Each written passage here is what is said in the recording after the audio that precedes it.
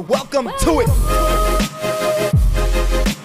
Good morning to the folks. What up to the youngins and bless up to the world. And then Jay just put your info on blast like that. It's what the people want to know, bro. My bad. Nah, bro.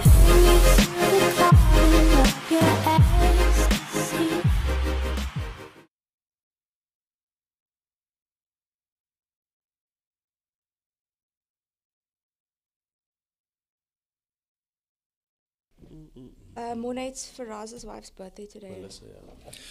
Good morning, ladies and gentlemen. Welcome to it. It is the morning shake with me, your host, David Hendricks. And of course, I do not have my co host with me today because um, he, he was sick the whole of last week. I don't know what his issue was. He wasn't sick yet. Mics, bro. well, he's in studio. I don't know where the other people are. but anyway, um, let's get this party started. Ladies and gentlemen, please, I want you to welcome my co-host today is my beautiful wife, Miss Anka Hi. Hendricks. what do you mean, hi? I think everybody, I think I'm like a staple on the show. Like I come every now and again on everybody else's show, but uh, I'm happy to be here alongside you. You know, I like doing things next to yourself. Ah, oh, here we go. there we go. There we go. And of course, we got our guest uh, in studio today. Please welcome on set uh, none other than Mr. Mornay. Good morning, guys. Good morning. Awesome to be here. Excited to be here. How you doing, bro? You feeling good? I'm feeling great. Excited for today's topic. Super excited. we're gonna cover some serious topics, and then of course we got his uh, lovely wife right next to him. Please put your hands together for Adi. Thank you so much for having us, guys. This is so liquor. Nah, thank you, thank you so much. So, so, ladies and gentlemen, listen, we we've been um, going uh, full out with this conversation because we want to get into it, and uh, we believe that's going to be an interesting conversation because a lot of people have been struggling in this in this uh, kind of space. Um, Anka and I have been doing ministry for about. Uh, oh, a while now. I've been in ministry for 11 years full time. Before that, also part of church. And later on, when I was getting into youth ministry, what started happening was I would then, of course, counsel um, young people and walk with them, and some of them going through different challenges, some of them going through like alcohol abuse, you know, uh, or, or, or addicted to substance or whatever the case may be. And we'd walk that journey with them. And later on, as I as I kind of matured and progressed into the different stages, a lot of my team members would start getting married, start going through different challenges, start different people in the in the you know church also getting married. And then naturally what would happen when they need kind of counsel or speaking to or whatever they would come to to the church and ask for assistance or ask for help Yeah, whatever the yeah, case may be. and then we'd end up obviously assisting them and speaking to them. So we've seen a lot of um, back and forth as far as uh, as far as marriage is concerned, as far as dating is concerned, and we've also done a lot of counseling in that area. And what we what we come to find is that a lot of marriages uh, struggle to make it past that first year, and part of the reason is because that first year is tough. That first year you're coming from different homes, you come in, yeah, you come in with different vibes. You you both have your own viewpoint of what this should be, what this should look like, and now you kind of have to make this work as the two of you. So there's a bunch that happens in that space there. Uh, but before we get into the points that we have for today's show, uh, let's let's let's find out from our guest here this this morning. Uh, perhaps either you, Mornay, or Adi. Um, your first year, how was that first year for you? the first year of marriage was very rough. I'm not gonna lie to you. It was tough um, because two different backgrounds coming together and trying to work this thing out was very, very obviously difficult mm. for both of us. And besides, she left her home to move to a new city mm. as well. So all of that adjustment was tough the first year and the second year. Mm. So it took a lot of work. It took a lot of compromise. It took a whole lot of But, bef- but before you we know. get to how that happened, Yeah. how did the how did you guys meet in the first place? Let's start there. How did you meet? Because let's let's get a base going here. So so we we actually met in 2014 Yeah. um, at a show that I played at, and but we were just like I, I just met her. Hi, how you doing? And that was it. Following year later, I saw on Facebook again, and I sent I sent her a message, and from there it just led to. So you said you, a show that you played at. So what do you do? Like um, So what's- I'm what's- so I'm a musician. I'm a drummer um, from Cape Town, and um, I travel the world playing drums with lovely artists and awesome artists. So um, So you were at a show. I was at a show, yeah. Mm. And the it artist, wasn't his show; it was Yeah. an artist show, and I happened to have been um, visiting with the artist whose family it was. I think you actually know she's amazing, Bianca Lagrange, Yeah. um, local local chica. So um, yeah, we went to go watch her, and um, yeah, I, I met her backstage, and I met him backstage, and it was just like a hello bye. Moved on, and you know, in, i- enjoyed my holiday in Cape Town further, and then yeah, at that time I, I knew everyone on my Facebook, and I just saw this guy's name popping up, and I'm like, hello, who are you? I know you from somewhere, and that led to uh, WhatsApp. Um, sorry, there was Facebook Messenger. Then it was when you realized that I had an iPhone, it was FaceTime all day, Mm, every day. FaceTime. And yeah, I think that could only go on so long. And we were both like, look here, um, we've put our prayer points down on paper. You check out. Oh, you check out. Well, hello, it's a match made in heaven. Let's do this thing. I feel like when you know, you know. Yeah. And we knew. And it was, it actually, the engagement, so plain and simple, happened over a conversation we were having.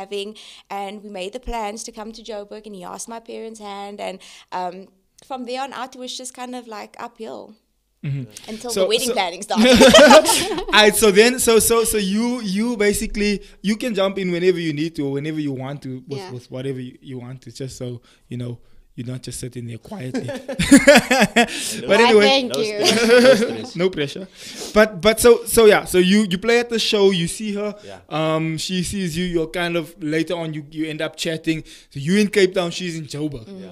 and then you come to you come to Joburg to come speak to her parents to, to kind of figure this whole thing out. Uh, wh- what's your mindset behind that whole thing of you know let's make this work because I'm there, you here. Yes. How does yes. that go? So so basically what happened was I came down for a birthday for the first time, right? Mm. To actually meet this girl, right? Mm-hmm.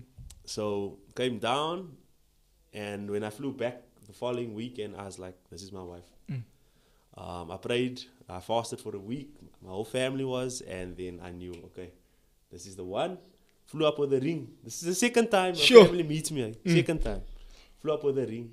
So I was expecting, I'm not gonna lie, I was expecting a family to say, no, sorry, Mm. this is not going to. yeah, because it's so, so quick. Yeah. I mean, This is just the most imagine, mal idea ever. Just imagine someone comes to your daughter and you only met him twice.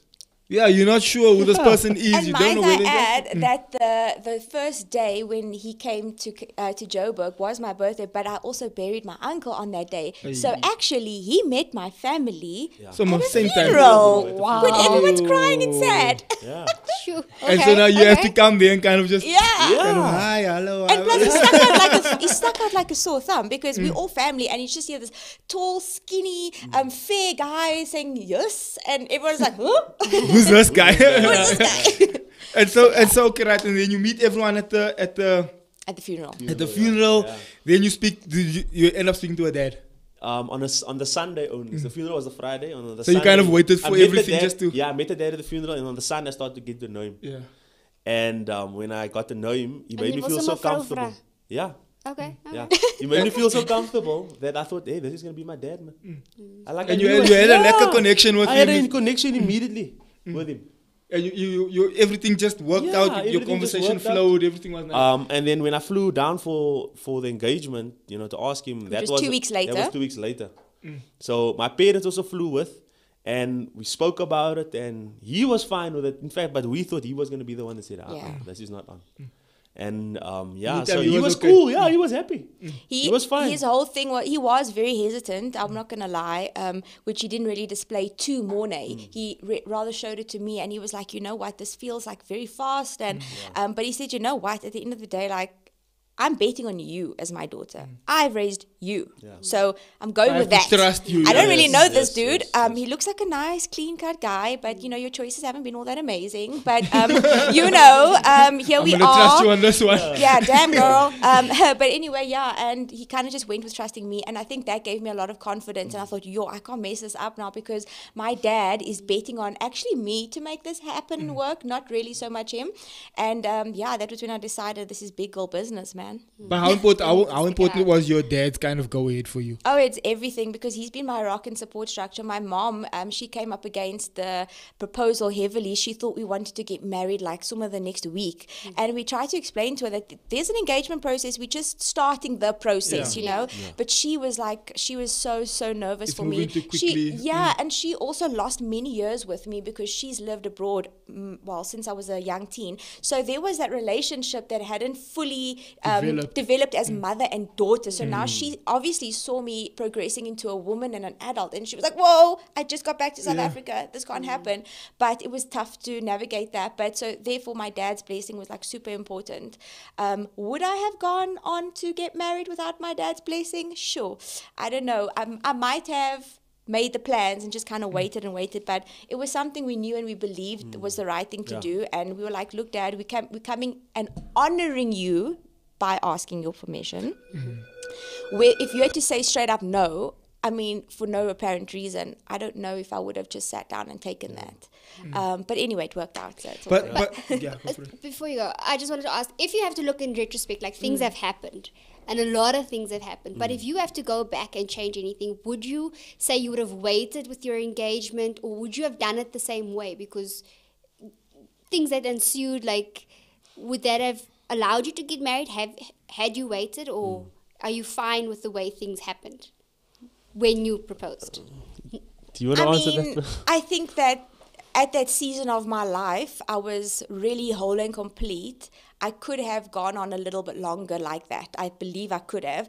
But at the same time, if I didn't get out of the cycle of my life that I was perpetuating, and I'm talking as a person, as a woman, you know, not like with family or anything, but I was just following suit this way of life, and if I, it was like a rat race, and if I didn't get married at that time or, or remove myself from the situation at that time, I don't know if I would have been the woman I am today. Because um, the hot water that I was in, you know, planning a wedding, integrating families, and all of that, that has shaped me today to be the mother and the wife that I am, and I believe that. So, yeah, I would have liked to have actually waited because I do believe that. Um, we could have gotten to know each other a little bit more, which might have made the the integ- um, integration process a lot simpler and peaceful. However, It yeah, happen it happened. But and I'm but happy. listen, it could have went the other way Yeah. also. Yes. So so Anka and I could always say because our story is very very similar, Similar, to yeah, yours. Yeah, yeah, as far as she was living in Namibia, I was living in Joburg. Mm. So we were also chatting on Facebook initially. Yeah. Then the same thing happened to me. I was like, "Alright, we can't be.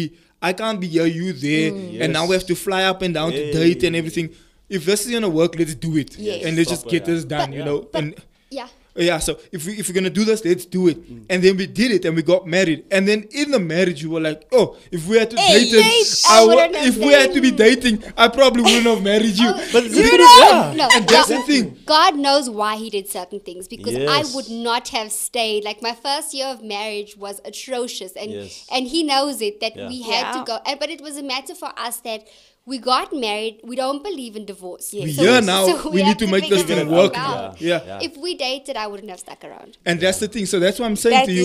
If you if you had to date, perhaps you would have probably seen things that you didn't like. You would have probably like picked up uh, like attitudes or whatever. You'd be Yes. like, ah, no, let me rather just Yep. leave this. And then you probably would have never ended up getting married. Yep, So perhaps God planned it that way so that it's like But there's that thing It that comes in where everyone looks at me and goes, "Oh, but you knew what you were getting yourself into," and I go, "But I actually Didn't. didn't." And therefore, that is why I always, like I say to myself, "Oh, maybe I should have waited." Mm. But then again, hey, it's all That, but that's what I'm saying. So it could have gravy, went. baby. It could have went the other way Yeah. also. Yeah, because now you get there, you meet the family, you meet it, then you'll start thinking, uh, no. Yeah, Should I get I think I think that is one of the biggest misconceptions that people do say that they do say you know what you were getting into, but really you don't because Yeah. you don't know the person until you till you're in it. Exactly. Till you have to deal with this person's Yeah. Habits and and when I say that I have habits, I have things that he might not like. For sure. And the same the other way around. For sure. So no, we don't know what we're getting into Exactly. until we actually there. And then I moved to Cape Town. Um, in the it was December, and we went on a family holiday. And his family said, "Hey, look, why don't you just stay? Um, let's you know wedding plan." And I did want to get married in the beautiful Cape Town. I mean, who wouldn't? You guys did. Yeah, we So I was like, "Yo, um, okay, it's a good idea." And so I actually ended up staying with his family for the first few months while we were house shopping and while we were wedding planning. And I don't know if we were still getting to know each other in that season. So that was rocky. And then when we bought our house, or rather his parents gifted us actually with a home, and when I moved in, he couldn't come with. And so I'm like setting up this life by myself, or at least it felt like that. Even though mm. in retrospect, I totally understand we were in a season of uh, preparation, right? So it needed to happen. But obviously, like I'm alone in Cape Town. I don't really know anybody. I'm living in this big house by myself. Um, I have a, a gate. I have two little foster dogs, and I don't have. I have. I think I had ADT. We had ADT at the time or something like that. But I mean, you coming from Joburg, you paranoid. Like, well, I was paranoid. I'm like, this is Oh, not yeah. working out for me. I'm scared. Like you know, there was n- nights where I have to phone him at two o'clock in the morning, and of course, he wasn't allowed to come because um, Yeah, you're not married I mean, yet. come on, like, yeah. biggest sin ever, Mm. right? So that integration process was even then difficult because while I'm obviously trying to set up our house You're home, alone I'm in alone. another city. Yeah, You but don't at know this anyone. stage, at this stage, you still living with your parents. Correct. Yeah, but Oh, he went okay. far. They're like uh, five, seven minutes down the road. No, Yeah, so Ten so oh, so you could have connected quickly. Yeah. But here's the thing: what's the root? Uh, bef- before we get into the next Yeah. uh, uh, question or the next uh, topic, thank you guys so much for tuning in today. Um, uh, I mean, there's a bunch of you watching. If there's any question, comment, whatever, drop it in the comment section. We got the comment section open right here. We can see it, and we're gonna answer. and We're gonna banter back and forth with you. We're gonna get into some serious conversation just now. Well, we we're on our way there. So if there's anything you wanna drop in comment, uh, please do so. And we are watching the comment section closely. So you, we you are part of this conversation. What's the rude awakening um, after now you get married? What's let's let's put it this way. Here's dating. It's just wow, princess. Uh, Always pretty, look pretty eyes, always Yes, looking good, always yes. smelling good, da da da, and then bah, marriage. Yeah. What's that like? so in our circumstance, just and think I- about and the couch as while you're explaining. Think about the couch. So, tell us, bro. Tell us. so you like like sleep all my of, house. yeah like like all of us here. yeah, yeah, yeah, yeah, Don't get involved. I- I'm just joking. so for all of us here, we we never dated long, right? yeah. So our marriage process was actually I started to figure this person out because I didn't date her, right? I didn't know all her characteristics yet. So we got married, and then we started figuring each, things out and each other out. Um, I wasn't aware of certain things, um, understanding sort of um, the order of how a man should be, you know, and his relationship with his wife and with God. And I, I was, I, I, didn't understand that until I met Pastor Labati. And um, Who was our marriage was counselor, our marriage and he married us. so I, I really recommend like to It all was my couples, spiritual like, home, Marriage basically. counseling is so important. important, So because important. it teaches you things and ways and techniques of how you can handle your relationship mm. together. And um, we were literally all over the show. I mean, the first year was so tough because there were so much things that she didn't like that how I did things. Mm. And same from my side. Let me give you an example. Washing the dishes. Mm. I wasn't I wasn't aware of rinsing mm. after you wash. Mm. Because in my household we didn't do that. We mm. just hoed it there and They wash Wow. with the soap But and then they wash with the soap. But you Hey. wash. Yes. Mm. But You know the what I'm soap saying? Is, is Nice on to the know plate men though. wash too. Yeah. But hang on, I feel like your mom had a dishwasher. So what you say? No, saying? no, no. But we were we were always reared to you know before the dishwasher was there, we had to do Yeah. the dishes Do with my brother. So my way of doing it wasn't the same as how Adi would do it. So we would have like An argument about yeah. the dishes. Yeah, because the soap is still on the plate. Like You rinse know? it off. I don't want to eat chemicals. And then when it got to a point where like a, a, a lot of things, and then we had to sit down and say, okay, listen here. Wait, give us like another two examples. Not give you an not example. hectic, Okay, not example. two hectic examples. I will give you an example. Oh, give us examples. People are watching, I'm going through the same example. things. Mensa. when I wanted to go to the toilet, there is a beautiful cardboard roll waiting for me. Now, if you use the toilet paper Cardboard finished, Mensa, put it, ba- put the new one back. You must know where the, the toilet paper is, right? Or you go to the kettle. Oh, this is the best one. It's only me and you living in this house. I go to the kettle. I want to make you coffee, babes. But the kettle is empty. Why can't you just fill it back up? Oh, oh, I know.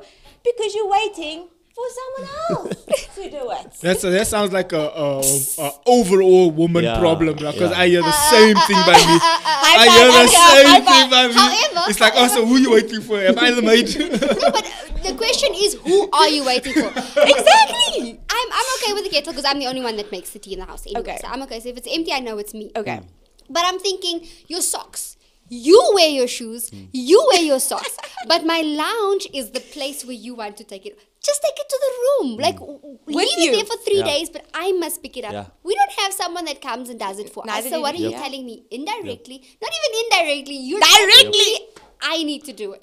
Now for him is like, no, this is not a sign of disrespect because I don't even think of you when I. My point, Yeah. the fact that that you don't think that I have to do it is disrespectful. What what what what have you what have you found that what have you found that men and women reason differently after you got married? Were you were you like for I'm gonna give you my example. My example was like that example. Yes. In my mind, I'm not doing anything wrong. Well, I'm hmm. Yeah. like I'm not even thinking I'm not being like, malicious. Yeah, I'm not thinking like ah, yeah. Yeah. now I'm gonna show I'll leave this thing here. Yeah. Yes. She must pick it up. Yes. Like I'm like Bro, I'm not even thinking about that. I'm just like, yo, bro, today make was a long day. Yeah, Yeah, yeah. take off my shoes. So it's so, but in her mind, it's like, oh, now we must pick this up, uh. and I'm like, ah, oh, white, why are we fighting? didn't didn't think about that, I didn't yeah. even know we Yeah. were fighting. so my, my thing is this: Don't you, Mr. Sir, always say that the very definition of being crazy is doing the same, The same thing, thing over and over. expecting different results. So if you do the same thing and you know it upsets the daylights out of me, Yeah. don't you think it's time to do something different about it? For sure. Let's let's change For our sure. habits and then we can live all peacefully in our Right. garden of I Eden. mean- But you see, but you see, the thing with with men is like we are we have our ways, man, and it takes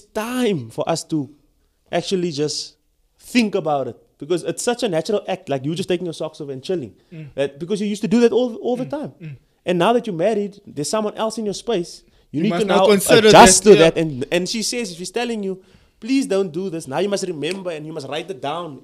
Hey, this is one thing you must remember just- because all of us don't remember everything. I, I just feel like you guys were just babied too much. The other thing is this like, what is the thing that irritates you the most? Because I know that when I get into the car and I drive the car mm. and I bring it home empty, it irritates Xavier.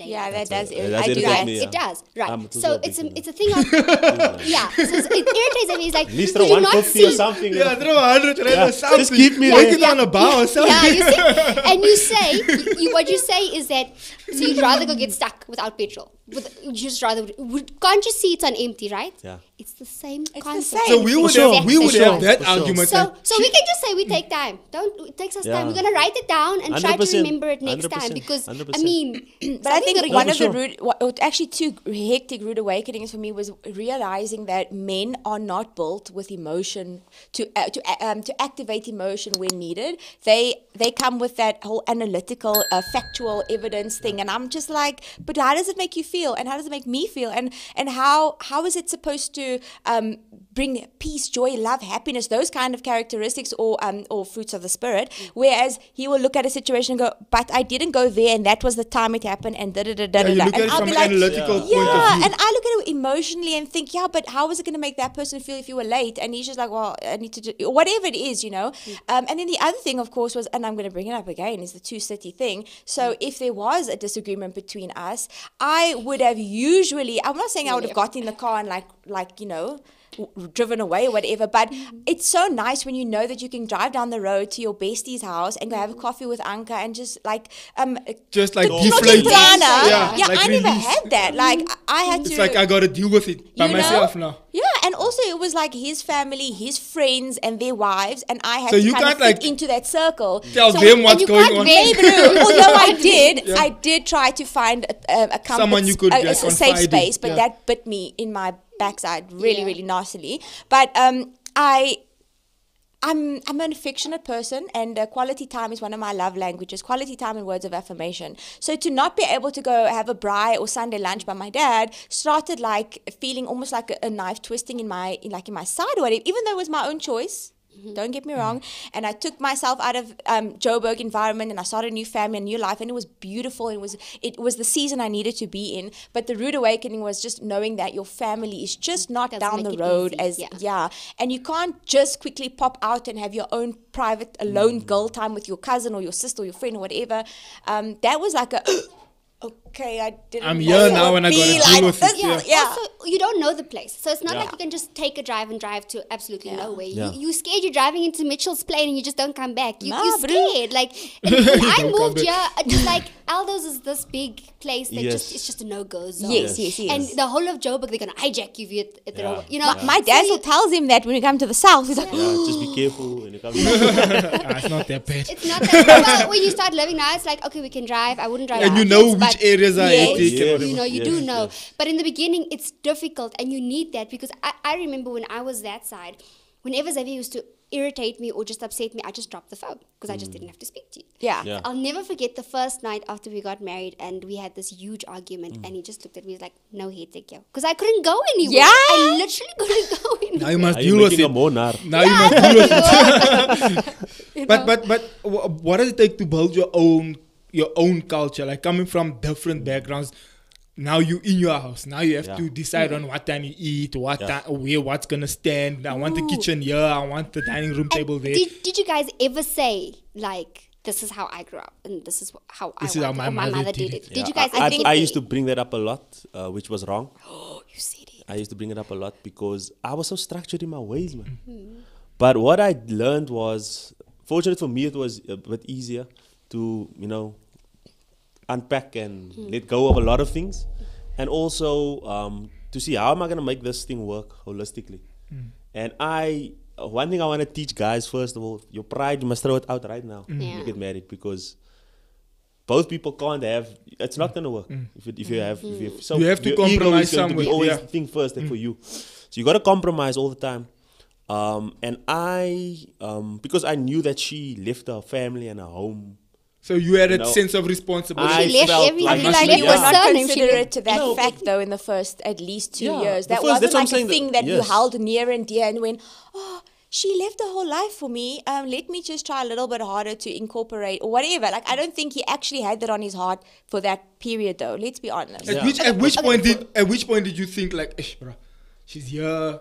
Let me try and make this thing work. When she flew up to Johannesburg, mm. Which was she like two months later. two I was months like, later, I'm after done. we got married, when she was like, I, ah, I can't deal with this. That's when I went up, flew up to Joburg and I called Pastor Labati and said, Hey man, I need help, man. How do I? I'm struggling here. Yeah. But So that's so so it got beautiful. Yeah. It's, it's beautiful that you as a man could say, okay, fine, I need help. Because Yes. usually men don't do that. Yes. Usually it's no, I've, I've got Yes, this. I've got to make this work. But it's beautiful to see that you needed help in that time and that you could go to 'Cause so so you know when it comes to pro- um, problems i always look at myself first Mm. analyze myself before i even look at what she done or Mm. You thinking, okay, what did I say? I'm, What did I yes, do? i'm looking at myself and i'm trying to look at the other person's perspective because life is all about different perspectives and um, when i checked that out and i was like oh, maybe i was wrong. wrong. Mm.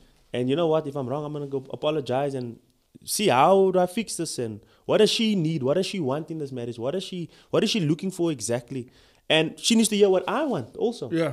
And from there onward, since we got that right, Pastor Labate set us down and he explained to us what we need to do as a couple in order to get certain goals. Maybe you want to share that order of God. That yeah, so like the viewers first the first point the first point was um, the order of God, for instance. Um, me growing up as a PK, um, you know, we always think that God is the Church. Church. So when you're in church and God is just here, there's nothing's wrong with that. Yeah. But I can't expect to be in church 24 7 and I've got a family. You know, so he taught me something. He said, Your your personal relationship with God comes first. That means you your and God directly. salvation. Yeah. Then it's your wife, Mm-hmm. your kids, your family, your work, and then your church. So me growing up, I was the church was always my priority um, because I was the um, band leader in the church. I always made sure that the music was great. I always um, I put the church first in front of everyone and everything because I was just that was my That- how we were reared up, up, yeah, yeah, you know. And um, when she came to Cape Town and saw this, she she liked it, Mm. but when it when I got married, I didn't understand to separate that and start.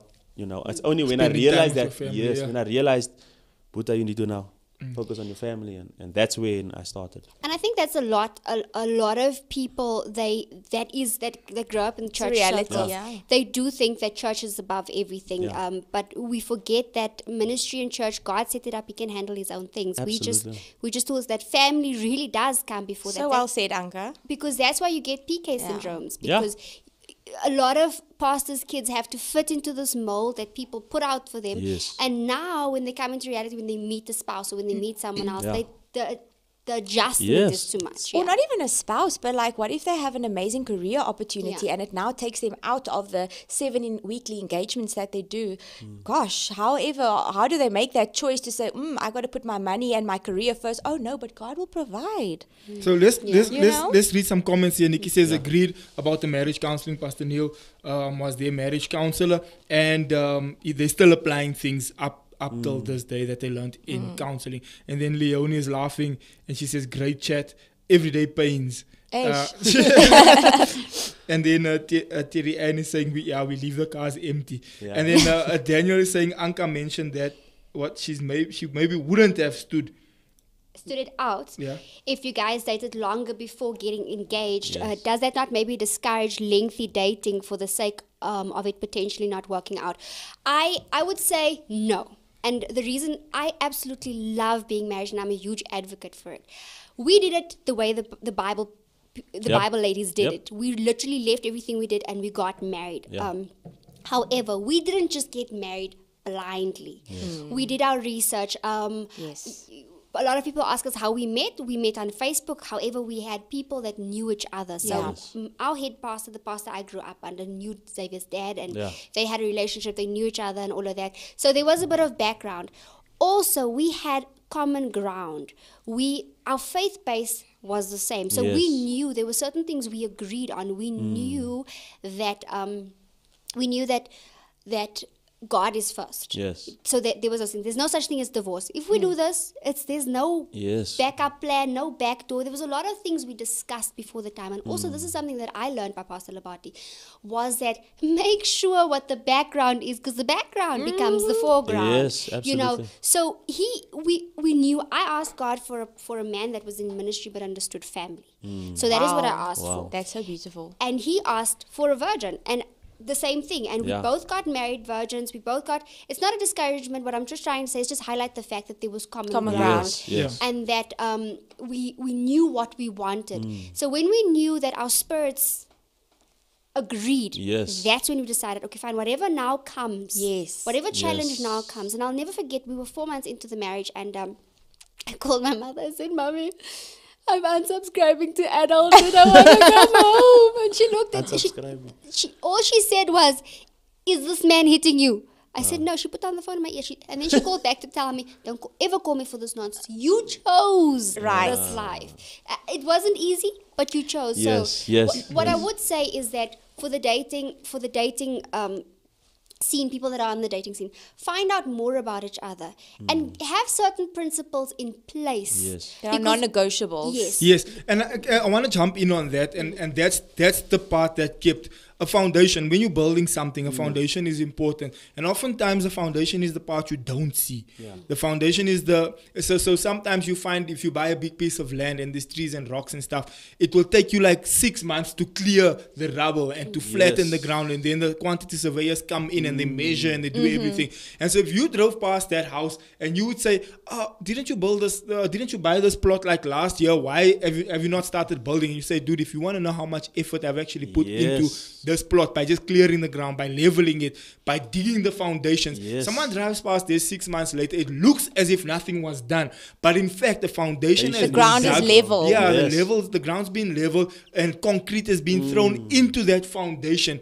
Because now you know that this house is gonna go three stories That's up, it, or that's it. however big the house is going to be. Yes. And you know that this process here is so fundamental because later on we can't just start building Yes. like like the like the, the, the Sunday school says the foolish man built his house upon the sand. Sand, yeah. because now he's just building Yeah, randomly. Christ has to be the cornerstone, Yeah, hundred and now we're seeing that oh snap, this thing's gonna fall over, and that's what that's the foundation Anka's Mm. speaking about.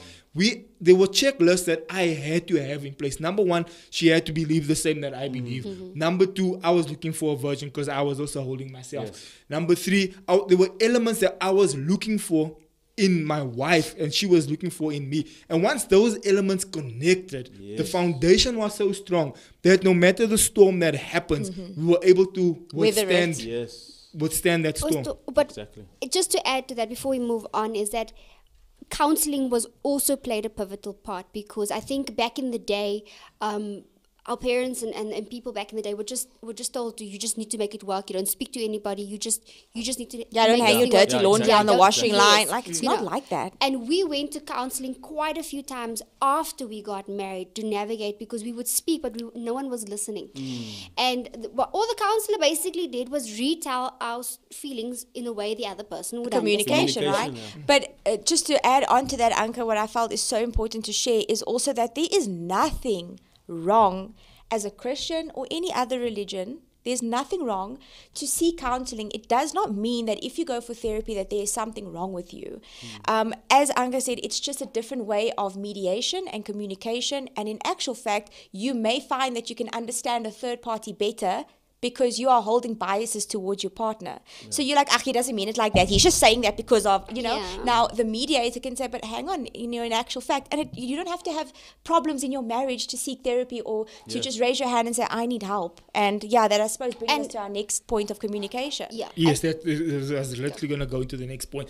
And I think what happens in a in a conversation, in an argument, w- where you come in with emotions, you come in, you also come in with emotions. You feeling some type of way. I'm feeling some type of way. And we're now both we right. go at it. We're I feel I'm right. right. You feel you right. Yeah. Guess what happens? Now we're not listening to each other. Now I'm trying to push my point and you're trying to Mm. push your point. So now we're just arguing. And so what a mediator does is a mediator will come and say, hold on, sit down, quiet, no fighting. Yeah, this is your point. This is your point. Then only you can see, "Ish, yeah, maybe I was wrong here. Mm. And and a lot of the times our arguments, um, the the reason why we have disagreements is also the way our our thought patterns were shaped. So you, you you come out of a culture, you were raised in a family, and your parents told you this is how things are done. Your father modeled something, and your mother submitted to that, and that's what you see is uh, correct. Yes. Then you come out of a completely different culture. You mimic what you saw growing up. Now Absolutely. you come and these two don't. Our lived experiences what follow happened. us, hey? Yeah. Yeah. But I mean, in our instance, we couldn't even get to the communication process, and here's why. You see, so Mornay will rather keep things. He likes to keep the fee, uh, uh, keep the peace. He likes to choose his battles. He'll deal with it in his head. He'll take it to Gardner. Just to God, not to anyone else. On the other hand, I'm like, okay, but hang on, I'm sitting with this right now. It's building up, and I know myself when I get like this, I can keep, and I can keep, and I can keep. But eventually, when I get here, it's like boom, all Okay. gaskets. And so funny, Rabane and Santa always joke and they call that Adi Huxtables or Adriana. That's my um, alter ego when I really get past that boiling point because it's a nasty place to be. And I never understood mental health. Um, in my past, I never understood it even in the early stages of my marriage. So I didn't know what it meant to um, come uh, peacefully and communicate and before I get there. And he didn't know that um, actually bottling stuff up is maybe not the not best healthy, yeah. option Yeah. or the best way. So we were even just struggling to get to the communication. Yeah. Never mind the two arguments. You know, we couldn't actually get the words out because we're finding different spaces and how we want to communicate. So that to actually find what works is probably a really good idea. You know, is the environment, is the setting, are you talking on the phone, is it amongst the kids, are you at work and having an argument? I think um, finding the right environment and so then finding, knowing your your threshold, knowing when is like, okay, it's getting dangerous to keep this in now. I need to speak to my husband about it. Um, that is so important. Yeah, and also like um, that the communication factor only really kicked in properly like on our third year of marriage. Serious. Yeah, because remember it took us two years to understand each other, and yes, we were talking, but I wasn't listening a lot, hmm.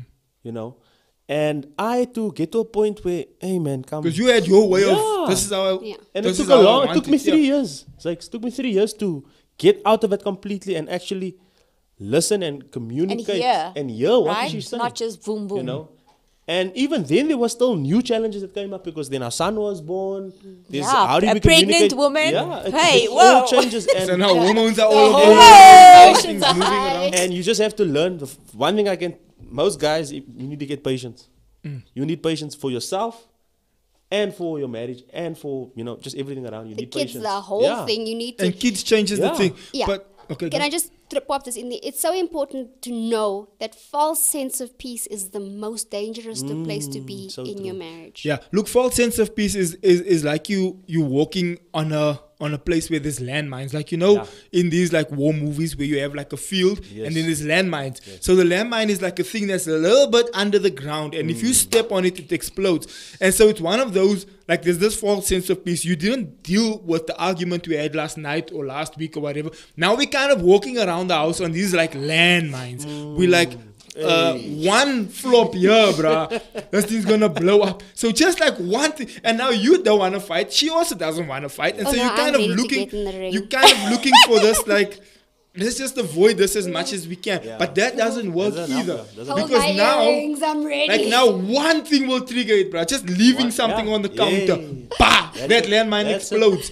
And so, so we had to come up with a strategy, and we want to write. Actually, want to do a book about the Mm. strategy we came up with.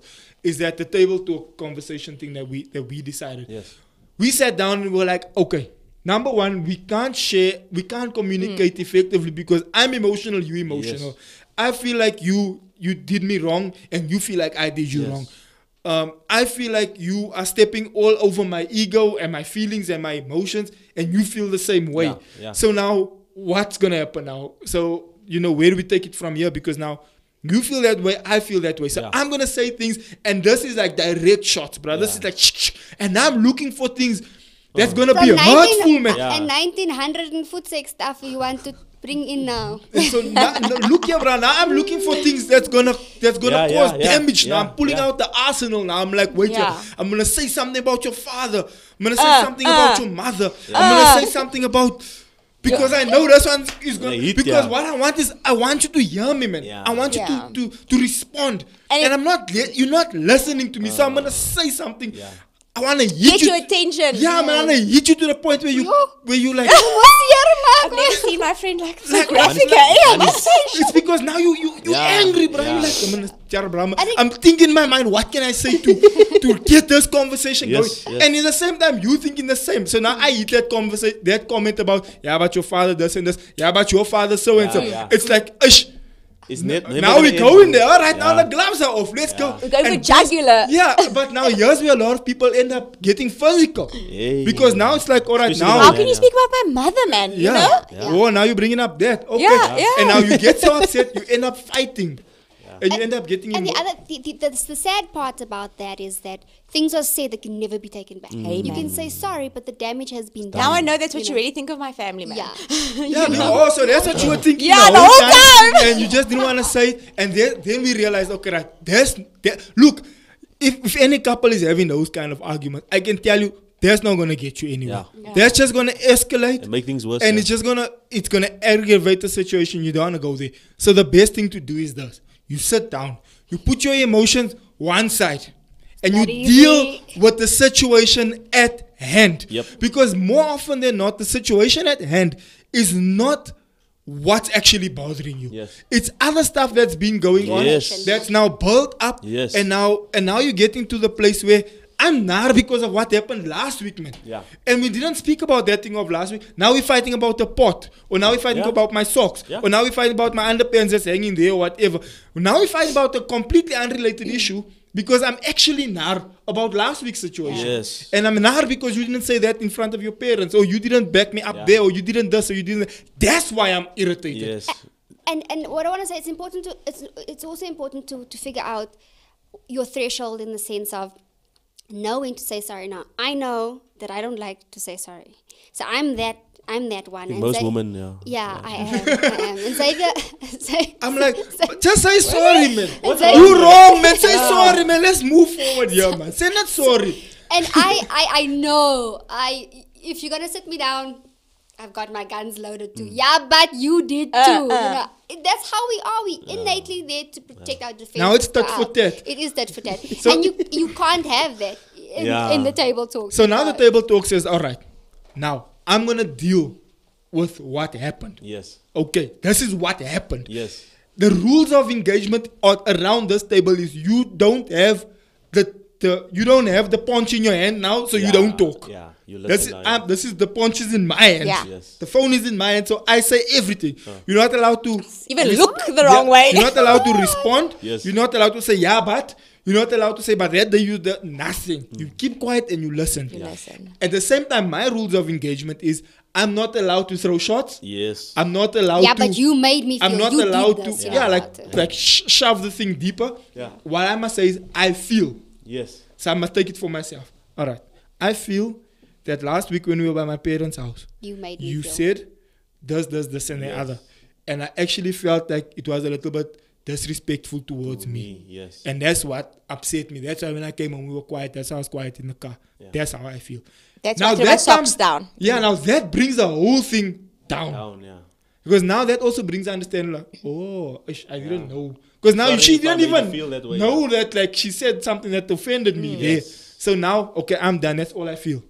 Now you find out that this massive thing actually reduces to like, oh, it was just actually that Yeah. one Yes. thing that you said. Yes. And because day. it wasn't dealt with, it like It- perpetuated. Yes. through. And then she says, Oh, I didn't realize that the day when I said I was just joking. Yeah. I didn't know it was gonna Yeah. offend Yeah. you.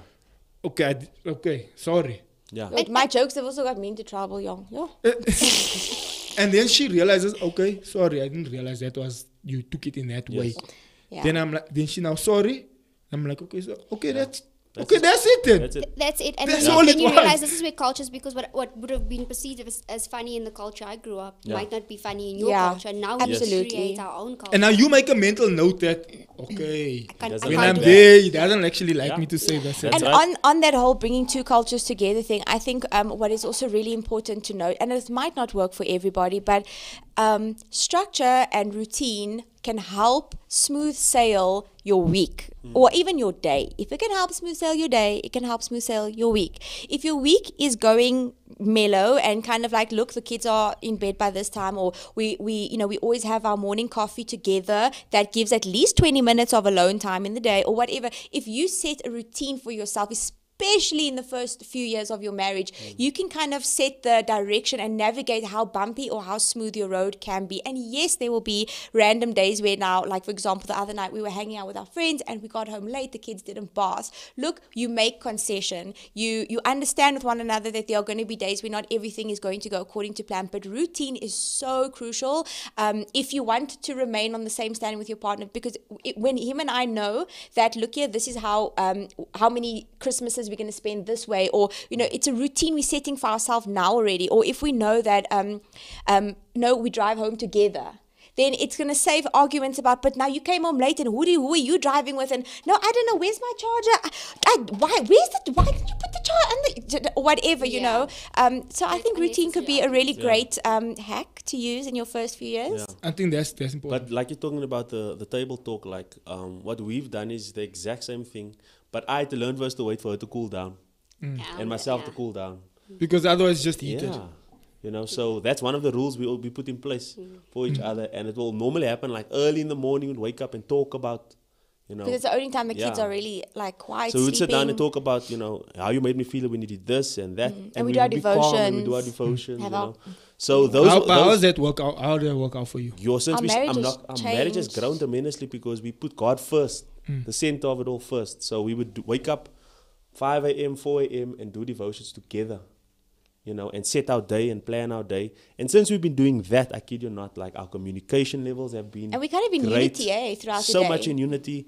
Um, our goals for our marriage, our goals for our businesses, For the day for the even, day has just helped us a lot because we've been in unity and we're communicating. You know, um, if I made her feel a certain way, she will let me know, but she knows how to tell me also because now she understands my process and I understand her process. So it's that communication factor is the most important in the marriage. Communicating all the time. And I, I just want to add there, uh, when we say communicating, we don't we don't just say throw it out there and, Yes. and, and say what you feel, Yes. but how but you need to communicate with understanding. That's it. So it should be communicated in a way that the other person can understand it, but the other person must also be receptive to what is being said, Mm.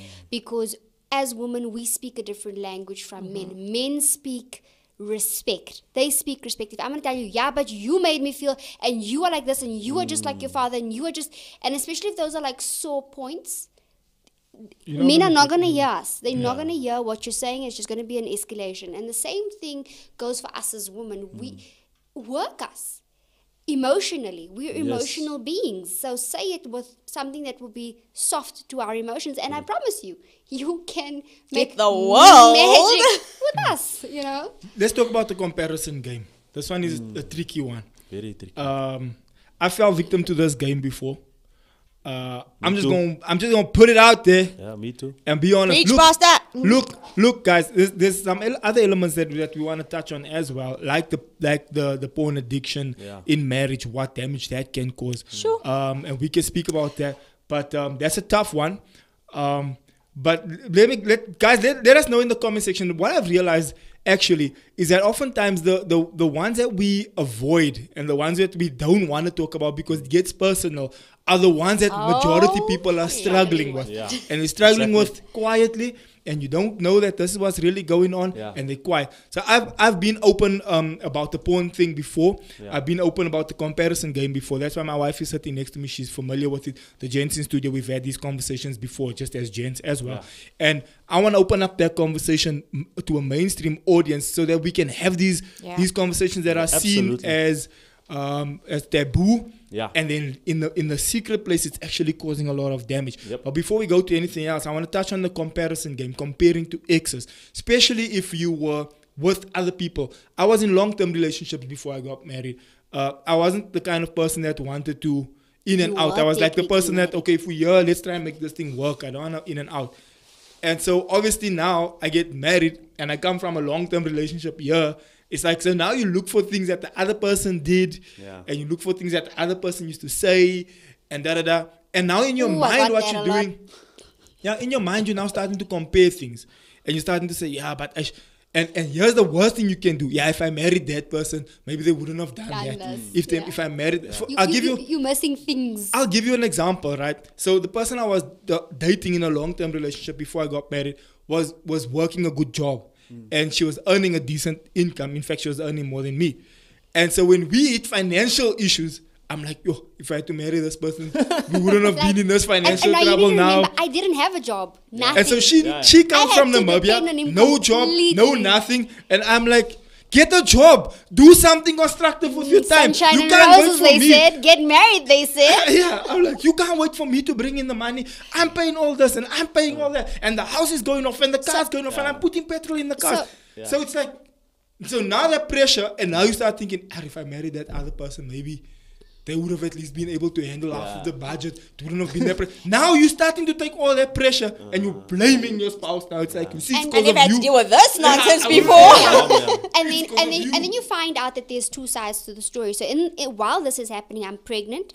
I'm at home and I'm keeping the house going. You know the mm. whole. Ho- Oh, but then you get things up. What did you do all day? Sorry, I just had to put that one in Yeah, there. you- yeah, that happens, and I, and I do Yeah, that. that what Yeah. did you do all day? And, and as we know as women that housework is is the I'd rather go to work than be at home cleaning the house because it's more you pay someone to do that type of stuff. So in the beginning of our marriage, that was it was that, but but I do this and I do this, and I'm like. But I'm here picking up your socks and washing your socks and making sure you have clean clothes and you know there's always uh, make sure you eat when you come home. Uh, this is hard work. You think I signed up for that? You you went very far to get a helper. Very very far. You this helper. Namibia. you know.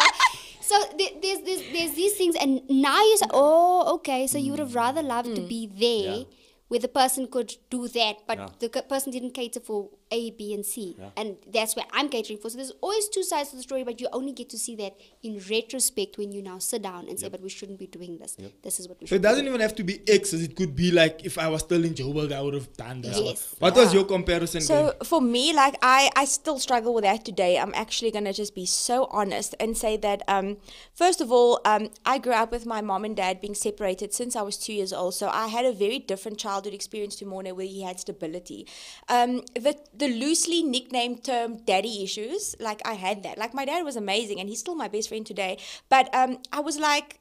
I was in one kind. I was with my mom in England, then I was with my dad in, in in South Africa. Then I was living with my dad's one wife, and then I was back with my mother. Then I was with my grandmother. Then all I wanted, oh sorry, then all I wanted was my dad to give me that stability life. But then I chose to leave, so I was I was very up down everywhere, and so I I I, I nickname it daddy issues, but um. I grew up seeking security from my boyfriends. Not necessarily financial security, but that kind of, I'm going to protect you. You know, I've got you. I'll look after you. I seek that because I always wished I could just be stable, like, you know, at home with my dad, like, you know, wake up every day and go to bed every day and he's there. So, coming into my marriage so all my boyfriends were very like i won't call them they were not possessive in any way but they i felt safe and secure they made known that they are the man that they got me that they are large and in charge and i can trust them. And i felt safe with all my ex-boyfriends. I felt like i needed to be joined to their side. Um, some mistake that as insecurity that's okay but that was what i was going through. Now when i got married to my husband he saw me as a whole person already. So he's like, I don't need to protect you. You got this, girl. Like, I don't need to throw my weight around going, What time are you coming home? Where are you? You didn't SMS me back. Like, he didn't need to do that because he saw me as complete and whole. And he was like, I trust you. You got this. But were you looking for that? I was looking for that. So I was always like, Why are you not phoning? I Why went. There was a time, and I'll, I'll bring this example up. Um, there was a time, and I was honest about it with him when I went out with um, a male friend of mine in our engagement, and um, he was a long-term friend of mine, and I have male friends. Okay, this is a very normal thing. So he says to me, "Oh, um." Let's not have coffee. Let's just go to the beach, man. It's like middle of winter and it's at night. So already you're thinking, I'm like, yeah, I want to go to the beach. I want to walk at night to the beach. I want to see the stars. Like, I think this is the greatest idea. But if you have to take that information back to your husband and say, actually, babe, you know, while you were working, I went to the beach at night in the middle of winter with this other guy. He didn't care. Hy was min gespin. but now kyk jy like, don't you care? Don't Aren't you jealous or something? like, that's my woman. Like, and he was like, mm. And then that that was like a big comparison. Until today, I'm like, you didn't even ask if I got home safe. He's like, because I have tracker and I know you're safe. I'm like, yeah, but you didn't look. He's like, yeah, I know because I know God's got you or something. But he's just always like, Yeah, okay. she's I think I think that's see? I think And- that's and- a but PK that's an thing. important point. But I actually. want to I thing feel though. like you protecting me. But I think that's like that's a PK thing because um, is it? Xavier does the I'm same the thing. same, bro.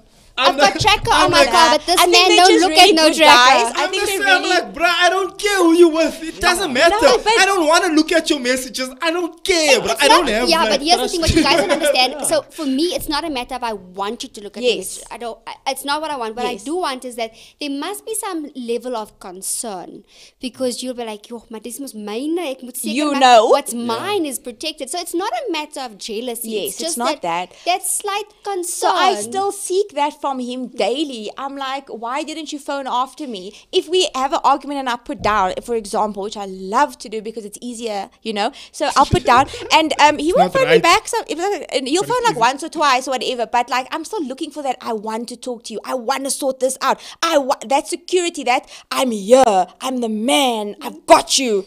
I don't get that from him, and I still seek it. But again, it's because of my own things, Yeah. you know.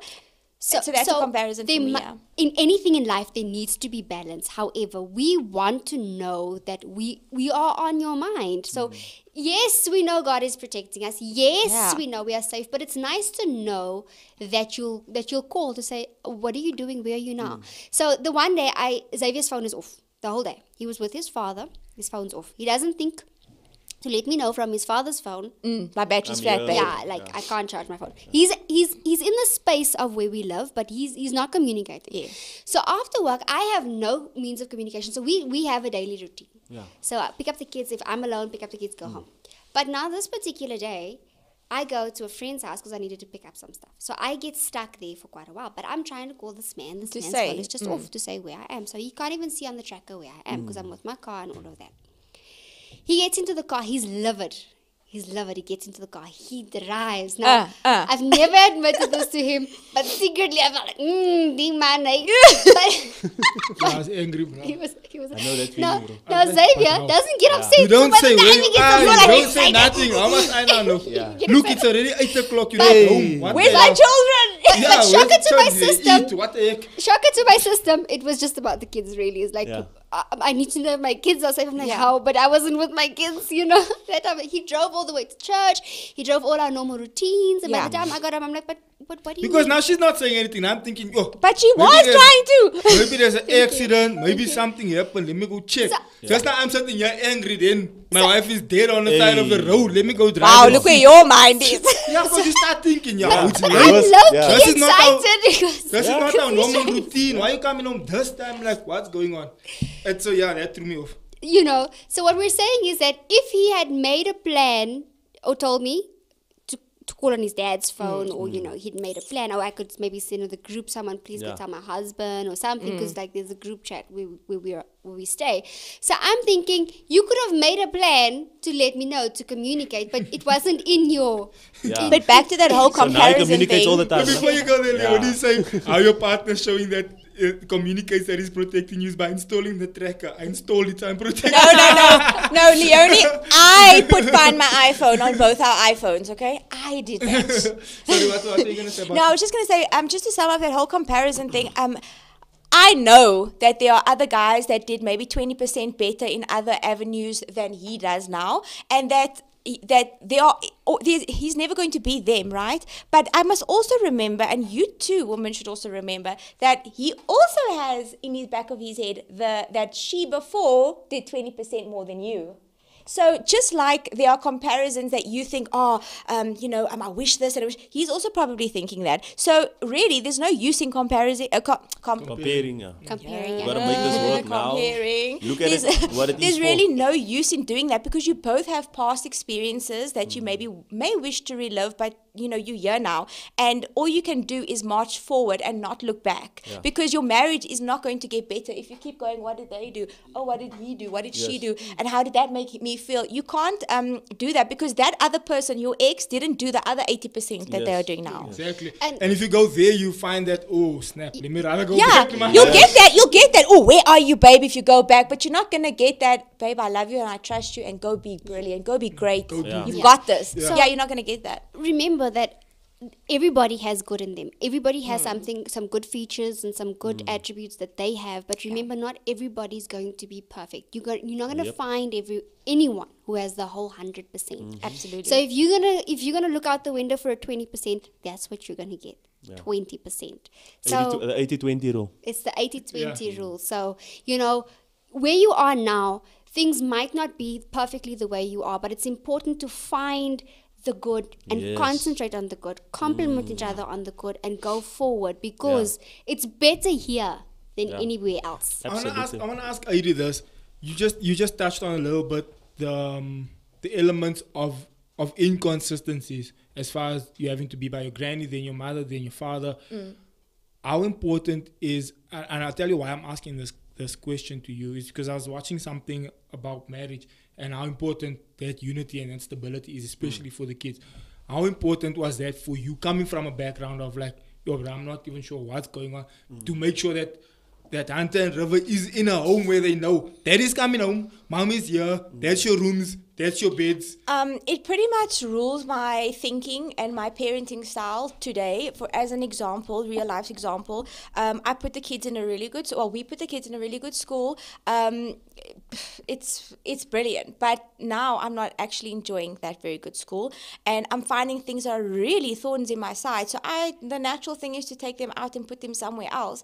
But I've got this innate like, hey, you went to six schools in your life.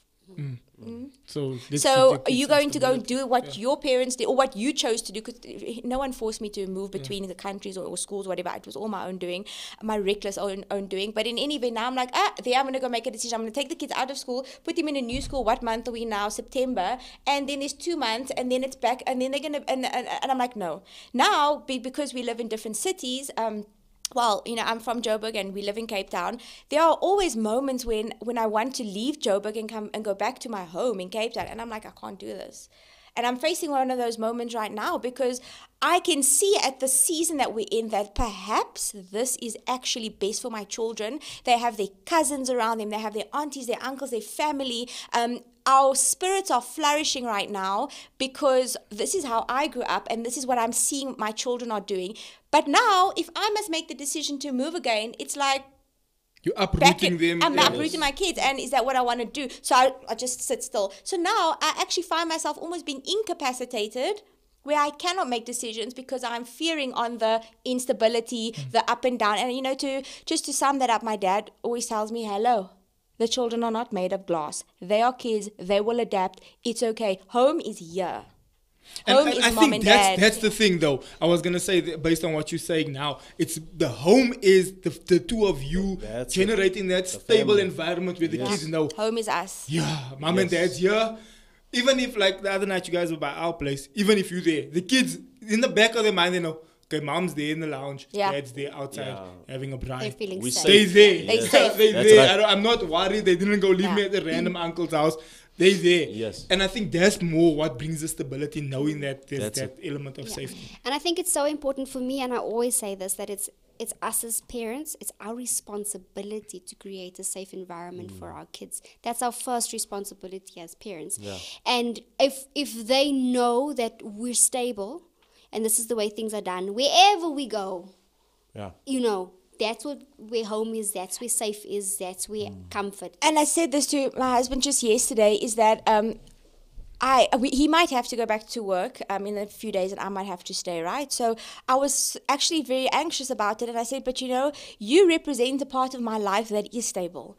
You represent a long-term relationship, um, a healthy home, um, uh, the same vehicle for two years or whatever. You know, the same email address, the same phone number. you represent stability to me because I was I was always you know up and down and everywhere for the for the other twenty years of my life. You know, so I I want you nearby because you bring that spirit of peace to my life.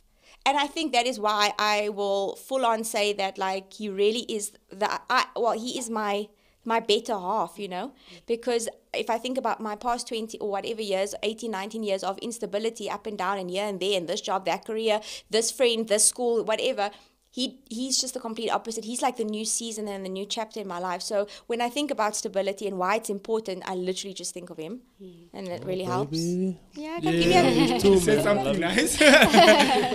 so, so, so that that I think that's gonna conclude our conversation for this morning. But I think, but in my in my closing remark, I would like to say that marriage is healthy and it's important. And I think it what it does, especially when you got kids, and even for yourself, like you're saying, it brings a sense of stability. It brings a sense of, and once something is stable, you can actually move. At the moment, I'm reading two books, and and they both kind of saying the same thing. They're both going in the direction of you need like like the importance of routine, as you said mm-hmm. earlier. You need to wake up, decide what you want, put that on paper, and move towards it. That's Failure to do so, it's going to be all over the place. Because in, in, in fact, it's they, the, the book states the scientists that figured um, the, the scientific part behind it out is that when your mind knows that this is where we're going, this is the structure, this is what we're trying to achieve, your mind tells the rest of your being that this is There where we we're go. going, this is what we're doing. But if you if things are all over the place and there's instability, your mind's like, okay, let's do this. Ah, that's not working. Let's do that. And nothing will ever work because for something to work, you actually have to focus and make it work. Yes. But if you're touching it and leaving it and touching that and leaving that, everything's just gonna touch and leave. Yeah. It's just gonna be a mess all over the place. Instead of taking something and making it work. And what marriage does is it generates that stability. Yeah. It brings that element of we here and we're gonna make this work. Yes. Do we have differences? Yes. Do we have misunderstandings? Yes. Do we have see things differently? Yes. But we made a vow that we're gonna make this work. So we whatever happens, we're gonna make this work. And now the kids know that. And I asked you the other day when we were driving, I said, Do you think there's an element of of confidence in the kids? Because what happened? We picked Ava up and the teacher said to us, We might have to push your child a year forward because she's she Smart. already knows everything. Mm. She's getting bored. She's like she's getting bored. She's bored. not getting stimulated. She, yeah. yeah, she's like not being, yeah, she's not being stimulated. She knows letters, she knows numbers, mm. she knows how to construct things, and it's she's gonna be, it's gonna frustrate her if we keep her a Of year course. behind. And so and so she came to us and she used a big word. We were in the bath, gay brushing out teeth. She used a fancy word. I was like, "Yo, this child is smart." I see what the teacher's saying. And then I said to her, "Do you think the sense of stability in a well-structured home?" Makes this kid confident, hmm. and Anka said, "100% Absolutely. it makes her confident." Absolutely. And those are the things that make the kids confident, even like to know that this is my home, this is this is where I fit in, this is my mom, this is my dad, and that element of stability comes through. I have a, just a question, if it's okay, before we close. Um, and this is for you, Zakes, but please, um, Anka, you know, chip in. Um, Xavier, I know that you had a really lucrative and, and really um, long career working with youth. But you also are in this age gap where you have worked a lot with um, the more mature um, age gaps, age brackets, especially in ministry, but also outside of ministry. So, my question to you is now that you are a happily married couple and you have seen what youth what life in with as life as a youth can be like dating and whatever stable relationships and then you see the whole what the mature decisions that the older people are making i am at a stage right now where i believe that it's really like the old and the new. How do you bring how do you raise your family and how do you navigate marriage um, in this middle so that you can take the old that you've learned, implement it into your marriage, and go forward and keep being youthful and fresh and um, uh, accessible to the young people, but without like being this old, like cultured pastor that can't like move left or right. Anka, I mean, I know you also stepped into ministry with your husband, and um, he, yeah, you guys are so fresh, man. I, I find so much inspiration from the both of you. But like again, I'm also struggling right now to keep all the the old cultural things move forward but keep some but decide which ones are going to work and but then also be relevant to my kids and my kids friends and to the young couples that are about to come you know we are now speaking to young married couples or people that are about to get married but how do you decide what's worth taking from the past and and what's worth pushing forward how you navigate your family I think the fundamental thanks. That's that's a great question, and I, and I was struggling with with that with the answer to that question over the past two years, and I kind of recently managed to the find a balance. Yeah, so it's an interesting question, but I think the fundamental base is always going to be scripture. Okay. Mm. It's always going to be the word Beautiful. of God. It's always going to be what does God say first. It's always going to be what does the what does my moral compass say mm. to do. That will always be the fundamental Yeah. basis. And then the audience that I'm like like in my field, I'm trying to reach an audience, and Right. that is the younger audience. The audience that I'm trying to reach, how do I stay relevant to that audience?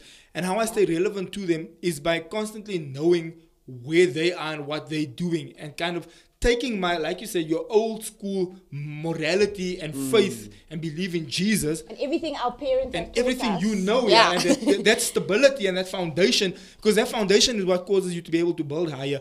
And taking that strong foundation and then saying, okay, now this is the way forward. And again, dealing with my kids, and I also saw things where my parents did wrong with us. So my parents were from the old school. You tell tande, gaan uit hierdie groot mense praat. Yeah. So Yeah. that means like the big people are talking. Yeah. Don't come and uh, count the big people's teeth. Go Yeah. play in the back room Be with the children. Be seen and not heard. Yeah, be Yeah. seen and not heard. But go play outside. Yeah. And so I, I told Anka, I don't want to do that to my kids. Alright. I want my kids to have a voice because how, why I ra- was raised like that. I went to a, a predominantly white school, and I'm seeing these white kids that are confident and Yeah. challenging Asking the questions. teacher and ask questions. Yeah. And, Yeah. and I'm like, yo, bro, I get a backhand if I say that to Yeah. a grown up. And but that balance between having confidence to ask a question Yes. and told, shut up, you're a child, just sit there and be quiet. I realized later on in my life that when I started traveling, especially traveling on my own, I was like, I'm scared to ask which Yeah. direction. I'm alone in another country and I'm thinking, hey, must I now ask, must I not ask? And it hit me with oh. insecurities where I thought, I'm not going to let my children go through this. They must ask if they want to know something. They must Yes. go ask a question. They must go say something. They Yes. must speak their minds. But there's that discipline factor of mm. don't be disrespectful. Balance. Yes. Right. And that balance is it's not always what you one. ask it's how you How ask, you ask it, guys. That balance is always one to, to have to and strike. you Anka and you Mornay what were the things that you have taken and said I think for me personally, y- you have to always remember that principles remain. Mm. Right. So it doesn't matter how old school the principle is, it still So valuable. It's still very valuable. It's the same thing as um, spare the rod, spoil the child. Yeah. So I wholeheartedly believe in that. Go back to the principle, but apply it with a new method. Ooh, Yes. beautiful So i- back in the day, there was certain. Remember, Satan per- he perverts everything. Mm. So let's just take sex. God intended it for a good thing, but it was perverted. Yeah. So if that is applied in the good setting, in the right setting, it works well and it's beautiful. And the same goes for all the other principles. It's uh, marriage is not this this kind of institution you locked up and throw away the Yeah. keys. It's supposed to be enjoyed, not endured. So always go back to the principle Yeah. and then apply that in a Yeah. in a new way. But the basis must, Must remain remain, the the same. same. Absolutely. And I Okay, totally, guys, I I totally agree with that. Due to time, Oh, let's right. closing results. Ah, closing remarks.